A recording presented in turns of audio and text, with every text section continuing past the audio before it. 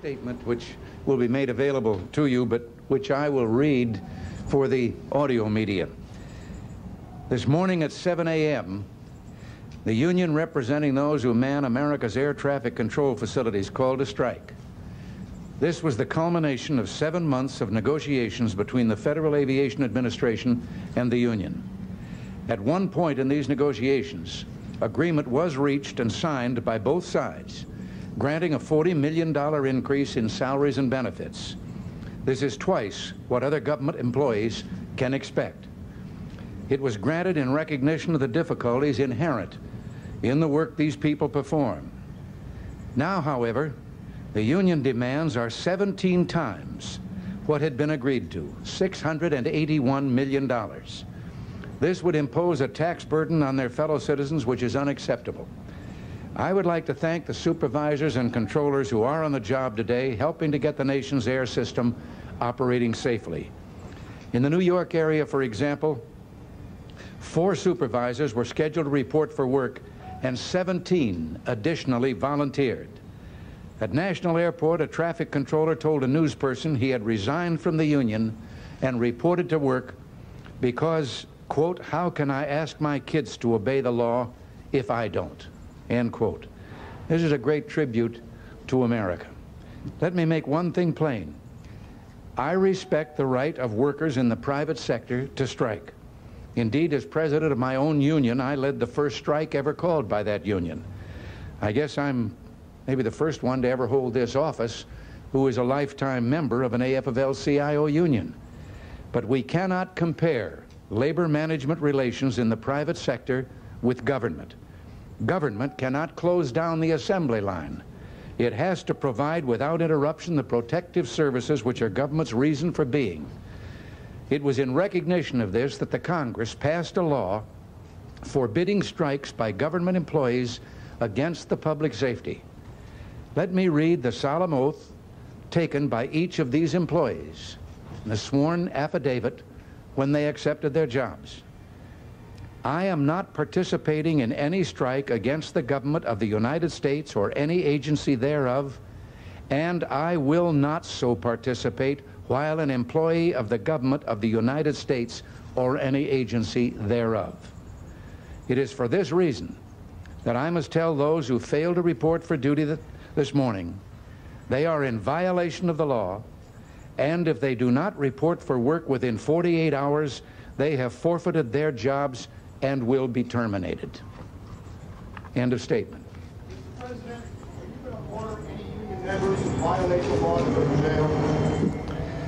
Well, I have some people around here, and maybe I should speak to refer that question to the Attorney General as to. Go to jail, Mr. President, anybody violates this law? Uh, I've told you what I think should be done. They're terminated. Well, as the President has said, uh, striking under these circumstances constitutes a violation of the law, and we intend to initiate, in appropriate cases, criminal proceedings against those who have, uh, uh, have violated the law. How quickly will you initiate criminal proceedings, Mr. Attorney General? We will initiate those proceedings as, uh, as soon as we can. We'll, the, the process will be underway probably by uh, noon today. Are you going to try and find the union a million dollars a day? Well, that's the prerogative of the court. Uh, in, in the event that uh, uh, any individuals are found guilty of contempt of a court order, the penalty for that, of course, is imposed by the court.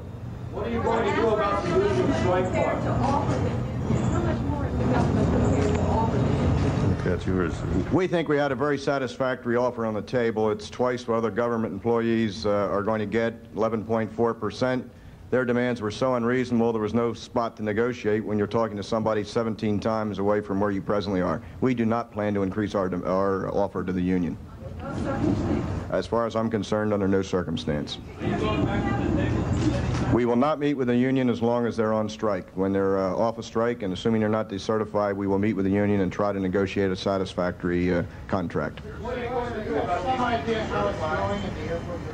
Uh, Relatively, uh, it's going quite well. We're operating uh, somewhat in excess of 50% uh, capacity. We could increase that. We've determined until we feel we're in total control of the system that we will not increase that. Also, as you probably know, we have some rather severe weather in the Midwest, and our first priority is safety.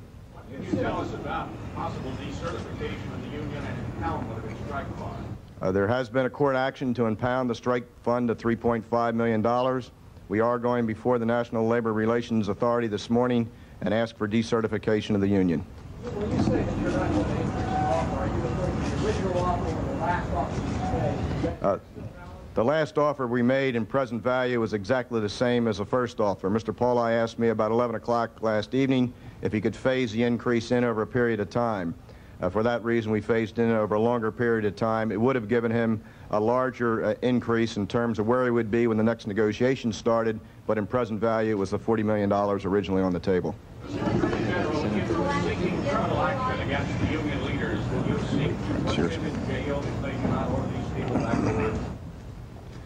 Well, we will seek whatever uh, a penalty is appropriate under the circumstances in each individual case. Do you think that is an appropriate filter? It is certainly one of the uh, one of the penalties that is provided for in the uh, in the law, and in appropriate cases, we uh, could very well seek that penalty.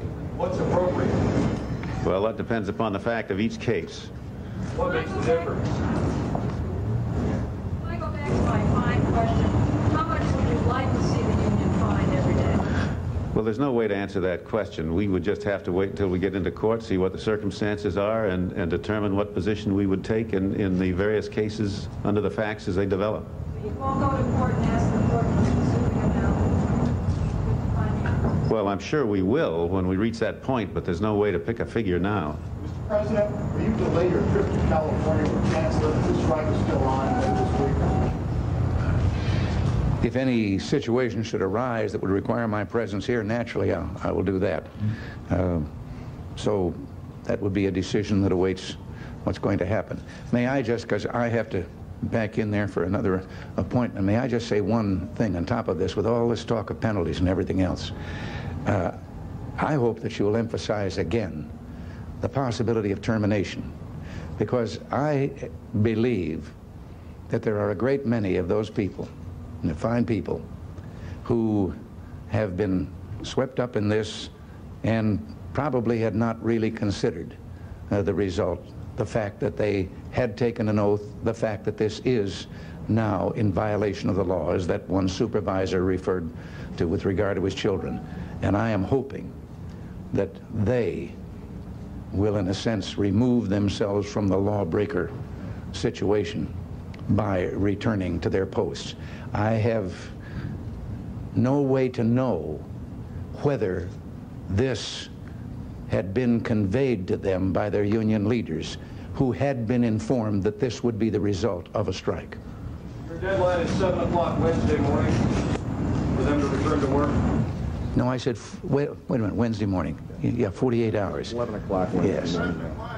Such strong action as your first action? Why not a, uh, some uh, lesser action at this point? What lesser action can there be? The law is very explicit. They are violating the law. And as I say, we called this to the attention of their leadership. Whether this was conveyed to the membership before they voted to strike, I don't know. But uh, this is one of the reasons why there can be no further negotiation while this situation uh, continues. You can't sit and negotiate uh, with a union that's in violation of the law And their oath. and their oath. Are you more likely to proceed criminal, uh, criminal direction towards the leadership than the ranking officer? Well, that, that again is not, not for me to answer. Mr. Secretary, what can you tell us about the possible use of military air controllers? How many, how quickly can they get on the job? In answer to the previous question, we will uh, move both civil and criminal, probably more civil than criminal, and we are now uh, have papers uh, in the U.S. Attorney's offices under the Attorney General uh, in about 20 locations around the country where we'll be involved in two or three principal people. As far as the military personnel are concerned, they're going to fundamentally be back up to the supervisory personnel. We have about 150 uh, on the job, supposedly about a half hour ago. We're going to increase that to somewhere between 700 and 850. I'm going to leave the questions to you. Secretary,